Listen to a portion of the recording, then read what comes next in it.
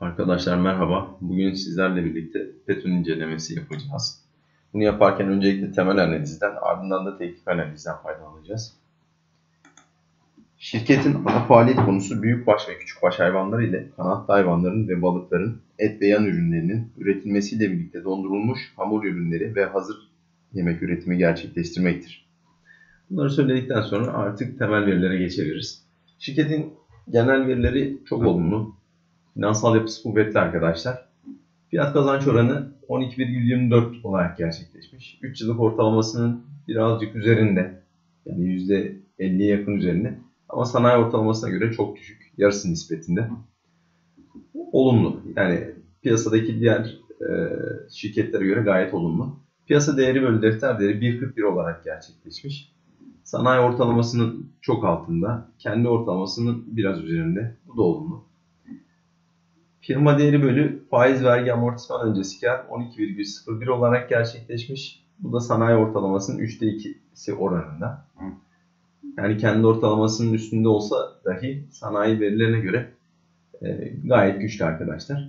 Karlılık artmış. Yani genel olarak sanayi ortalamasının hani karlılığı düşerken Petu'nun karlılığı artmış. Yani yaklaşık %10-15 civarı bir artış söz konusu. Bu da olumlu. Borçluluğu da az arkadaşlar. Bir miktar artsa da %33,25 olarak gerçekleşmiş. Sanayi ortalaması %60.94 olarak gerçekleşmiş. Normalde bu oranın arkadaşlar %85-6 olması yeterli. Bunu sağlıyor. Sanayi ortalamasının da altında. Güzel. Karlılık %5'in üzerinde olması olumlu. Bunu da sağlıyor. Diğer firma değeri bölü faiz vergi amortisman öncesi kar bu hani normalde 10 ve 6 olması beklenir. Tabi sektördeki diğer firmalarla da karşılaştırılır. Bu karşılaştırma yapıldığında olumlu. Fiyat kazanç oranı da benzer arkadaşlar. Yani 12,24 hani onun altında olsa ucuz olarak değerlendirilir. Tabi diğer firmalarla da karşılaştırılır sanayideki yani bulunan sektördeki daha doğrusu. Bu da bu açıdan olumlu. Piyasa değeri bölü defter değeri de 1 ve 1'in altında olması olumlu ama gene diğer firmalarla karşılaştırıldığında gayet olumlu arkadaşlar. Şimdi grafiğimizi açalım. Buna geçmeden bir de şuradan yeni bir şey söylemek istiyorum. Time bilgiler diyelim. Arkadaşlar şurada gördüğünüz gibi piyasa değeri bölü defter değeri 1.40. Biraz önce de söyledik biz onu zaten. Piyasa değeri 1 milyar 10 milyon civarında. Öz sermaye yani defter değeri de 716 milyon 164 bin şeklinde gerçekleşmiş. Bu bölü bu yani PD bölü DD gibi oluyor arkadaşlar. 1.41 bu da. Şimdi burada şuna bakılır. Piyasa değeri çok hani bu oranın ya yani orana bakılma sebebi de bu zaten. Hani piyasada çok şişmiş bir fiyat. Bunun orandan ziyade bir de şöyle yorum yapabiliriz. Piyasa değerinden defter değerini çıkarıp işte 1 milyon 10 binden 716 bini çıkardığımızda yaklaşık 293 bin civarı bir şey yapar. Onu da net kâra bölüp kaç senede karıyla bunu amorti eder. Yani bu farkı kaç senede kapatır buna bakabiliriz. Bu da onun altında olması olumlu arkadaşlar. Ee, yani 1 milyon 10 binden 716 bini çıkarttık. 293 bin civarı. Onu da 67 bin 960 liraya böldüğümüzde yaklaşık 4,3 gibi bir değer çıkıyor. Yani 4,5 yıl bile desek onun gayet altında. Firmanın karlılığı az önce de söyledik %9 civarında yanlış hatırlamıyorsam. Bu açıdan da firmanın verileri iyi, kuvvetli arkadaşlar. Şimdi şuna tekrar bakalım. Grafiği ilk açtığımızda hızlıca yıllık, aylık, haftalık, günlük olarak bakıyorduk. Bundaki amaç herhangi bir formasyon, oluşum, e, desen var mı hızlıca yakalayabilmek adınaydı. Aylık, yıllık, haftalıkta logaritmi açıyorum arkadaşlar. Günlükte lineer açıyorum. Aile açtım şu şekilde. Yani yükselen bir trend var genel itibariyle uzun vadede. Haftalıkta yani şurada bir düşse de tekrar yükselişe geçmiş. Günlüğe geldiğimizde hafif yükselmiş. Sert yükseliş düşmüş. Yatayda bir miktar daha yükselmiş. Gene yatayda. Tekrar aylığa dönüyorum arkadaşlar. Burada üstteki fiyat grafiği fiyat çizgisi. Alttaki 20 günlük hareketli ortalama. En alttaki de yani kırmızı olan da 50 günlük hareket, 50 günlük hareketli, hareketli ortalama arkadaşlar. Normalde beklenen de budur. Fiyatın yeşil olan yani 20 günlük hareketli ortalamanın üstünde olması onun da 50 günlük yani kırmızı çizginin üstünde olmasıdır. Şurada hani kırmızı yeşil çizgi yer değişmiş ama en son istenen durum gerçekleşmiş. Yeşil çizgi üste geçmiş. En üstte fiyat en altta da kırmızı çizgi yani 50 günlük hareketli ortalama. Bu olumlu. Haftalığa geldiğimizde burada da benzer bir durum söz konusu. Şurada kırmızı üstteyken şurada yeşil üste geçmiş. Şurada gördüğünüz gibi 50 günlük hareketli, hareketli ortalama çok güzel destek görevi görmüş. Burada da 20 günlük hareketli ortalama destek görevi görmüş. Şurada tekrar bir yaklaşma söz konusu. Ee,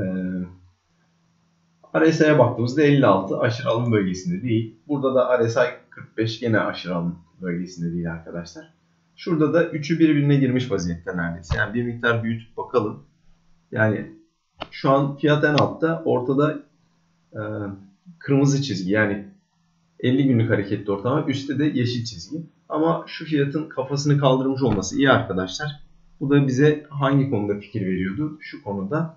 Yani fiyat yükselince muhtemelen yeşille kırmızının üstünde yer alacak. Yani en üstte fiyat, altta yeşil çizgi 20 günlük hareketli ortalama. En altta da kırmızı yani 50 günlük hareketli ortalama. Bu da zaten beklenen, istenen durum arkadaşlar. Tabii şunu lineer daysaydık daha güzel olacak. Bunları söyledikten sonra artık grafiğimizi incelemeye geçebiliriz. Önce tümünü sil diyorum. Hareketli ortalamaları kaldırdık. Günlükte inceleyeceğim için lineer seçili. Buradan geliyoruz. Grafikte şu an çizgi grafik açık. Bunu mum grafiğe çeviriyorum. Şu şekilde oldu arkadaşlar. Şimdi çizmeye başlayabiliriz. Yani genel itibariyle yükselmiş. Yani en dipler yani sürekli yükselmiş. Yükselen bir trend söz konusu ama şöyle sert yükselip bir yatay tekrar tekrar yatay şeklinde oluşumlar var. Şimdi çizmeye başlayabiliriz. Şuradan aldım arkadaşlar. Şu şekilde uzattım. Bunu neden böyle yaptık? Buna da gelelim şimdi. Şunu aldım arkadaşlar. Bir isterseniz şu ikinci mumun gölgesini alın. İsterseniz de şunu zaten gölgesi yok. Direkt gövdesi. Buradan 1, 2 uzat ya da 1 değdi, 2 değdi uzat şeklinde. Bunu bu şekilde yaptık. Bir de üstten çizelim. Üstten çizerken de şu üstleri birleştirdim arkadaşlar. Yani şöyle birleştirdim daha doğrusu.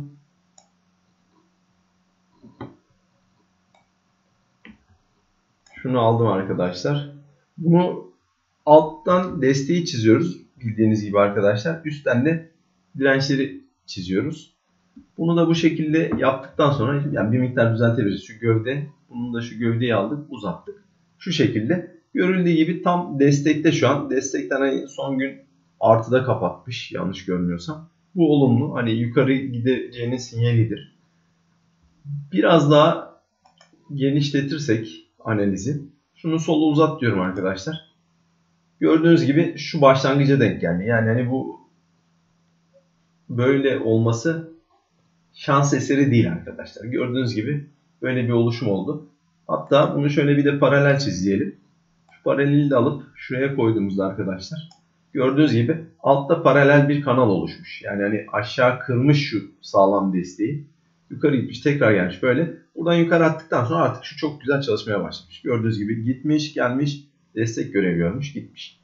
Hafif ihlal var şurada ama kıramamış geri gelmiş.